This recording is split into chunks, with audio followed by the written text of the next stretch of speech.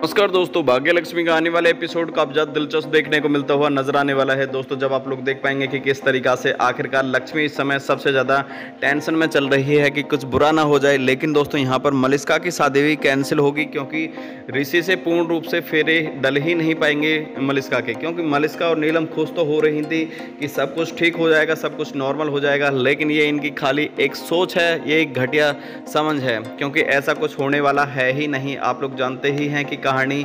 वास्तविक एक नहीं बल्कि समय कई मायनों में बेहद ज़्यादा खास और बेहद ज़्यादा अलग देखने को मिल रही है। कब क्या हो जाए इन लोगों को शायद पता नहीं है, क्योंकि जल्दी ही कहानी एक और भी नया टूस्ट लाती हुई नज़र आने वाली हैं। बात की जाए इस समय की बड़ी अपडेट की तो जल्दी ही आखिरकार आप लोगों के बीच में बोलता हुआ नज़र आने वाला है ऋषि ओब्रोय। ऋषि ओब्रोय साफ़ साफ़ बोलेगा कि मैं किसी भी तरीक़ा से ना ही शादी के लिए खुश था, लेकिन दोस्तों यहाँ पर एक नए शख्स की और एंट्री होने जा रही है। दोस्तों, जिसके बारे में किसी ने सोचा भी नहीं होगा। जी हाँ बल्लू की एंट्री होने जा रही है। बल्लू उर्फ़ बलविंदर।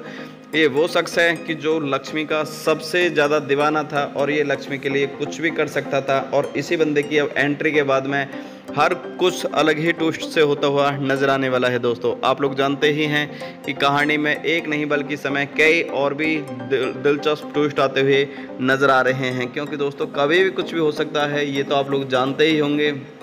लेकिन इतना सब कुछ हो सकता है, ये किसी ने सोचा भी नहीं होगा। आप लोगों को बता देना चाहता हूँ कि इस समय सभी लोग बेहद ज़्यादा हैरान और परेशान हैं कि कभी भी कुछ भी हो सकता है।